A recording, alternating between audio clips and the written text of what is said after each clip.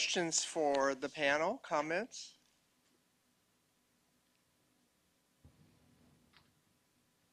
No? You're all exhausted from the day? Yes, sir.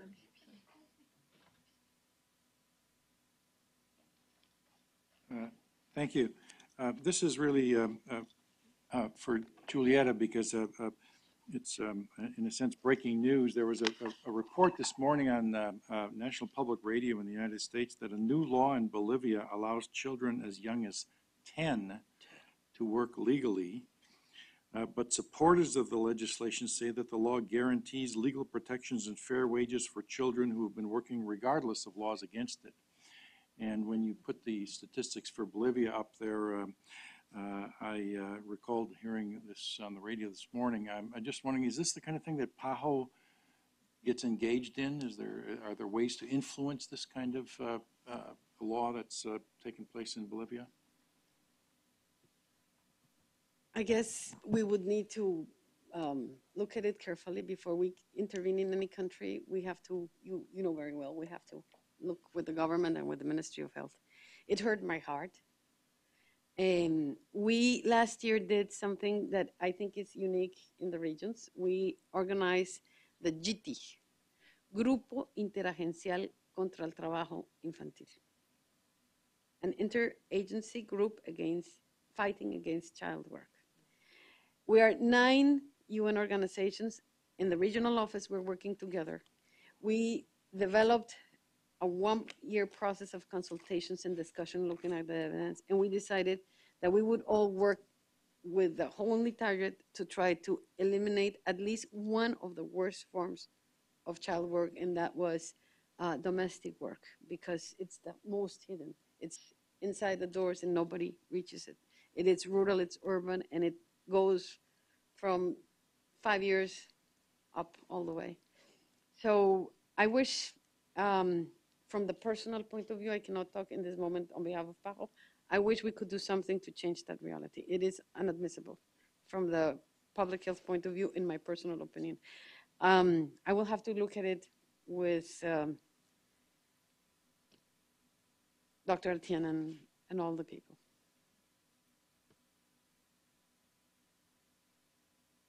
Anyone else? Yes?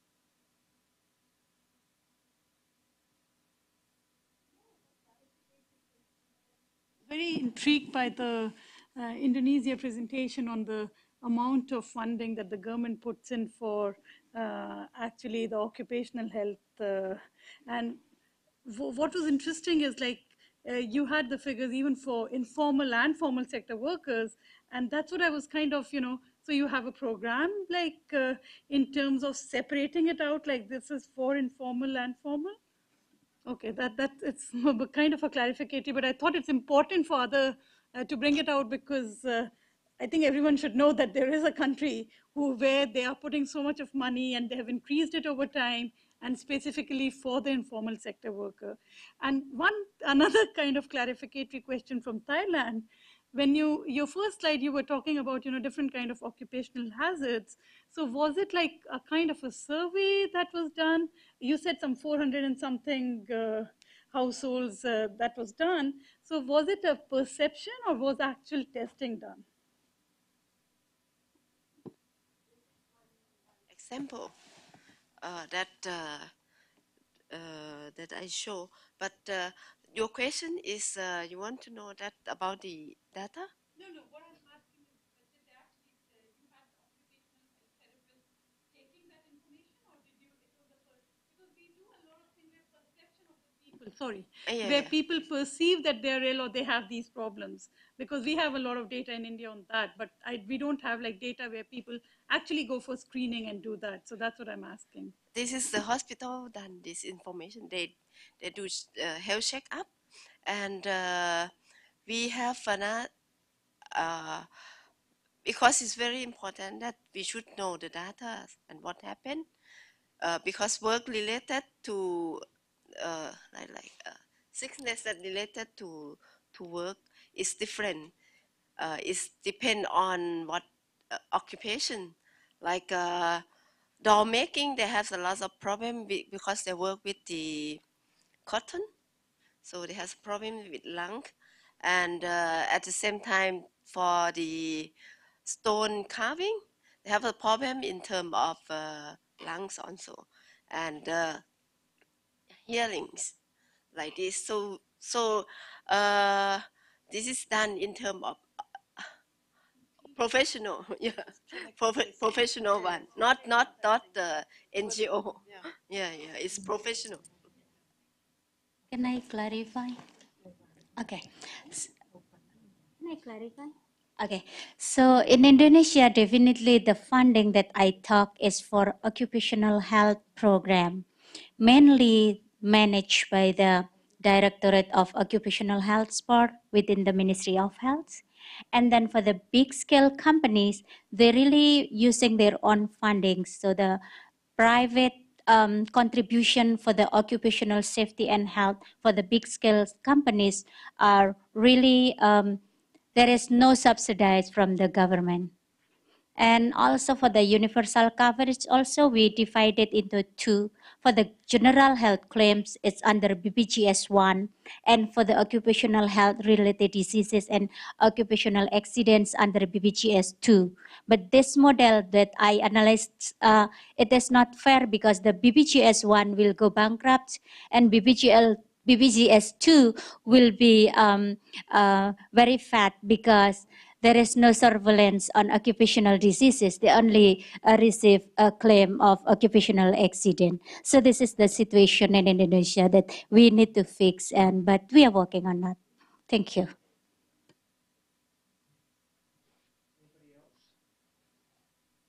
Yes?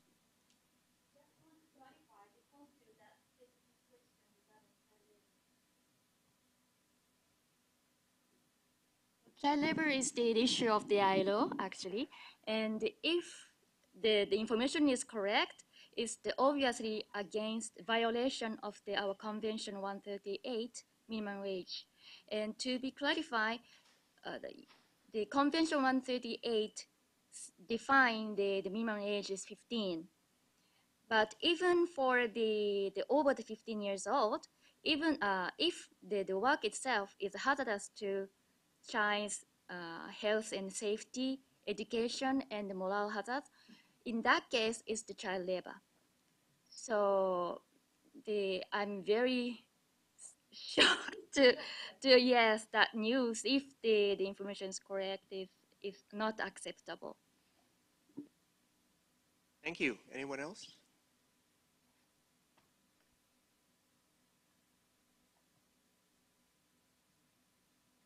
Like to add more information about the occupational disease in Thailand that uh, she says. Uh, because right now in Thailand, we have occupational disease clinic uh, in the general hospital. About uh, nine- uh, 90% of total hospital, of total government hospital uh, had uh, like uh, uh, uh, occupational uh, physician to give the diagnosis of occupational disease. Right now, uh, we have like a dat- database of confirmation case of occupational disease from the compensation funding. And another sort is uh, like uh, the hospital that will have a like a project and uh, the physician give diagnosis of oc- occupational disease. So uh, we have the database that Charu asked. Yeah. Thank you. Anyone else? Yes, Ivan?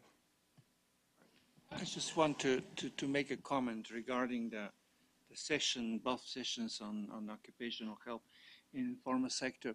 It, it seems very interesting to hear from, from the countries and how things are organized in the countries regarding informal sector workers.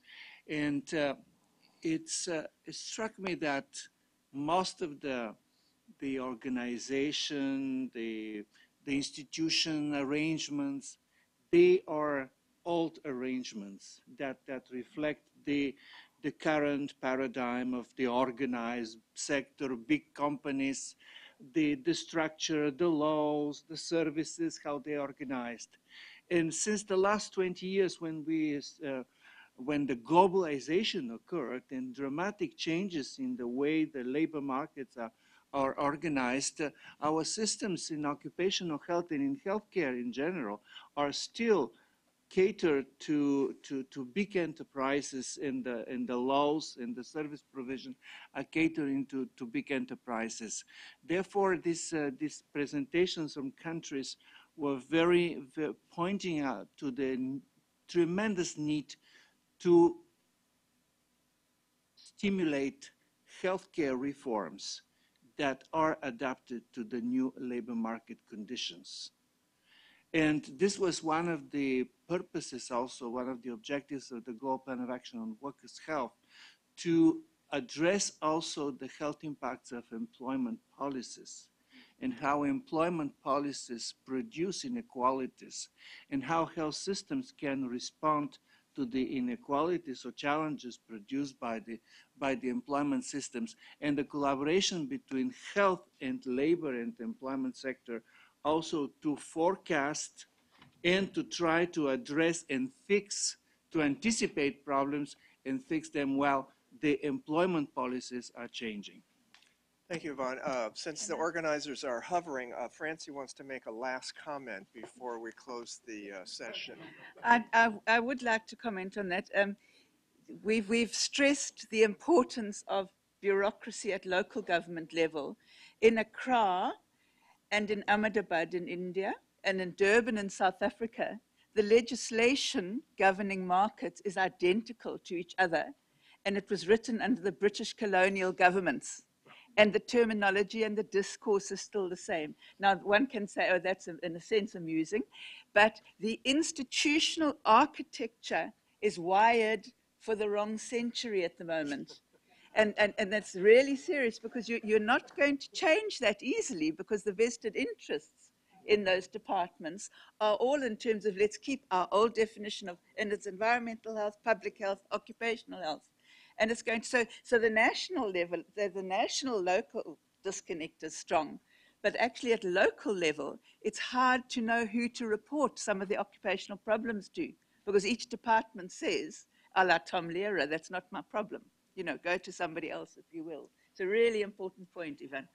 Well, thank you, Francie. Um, Unfortunately, we're going to have to close, and Clarion, uh, we're, we're finished with the uh, panel then. Thank you, Dr. Howard, and thank you, panel. Uh,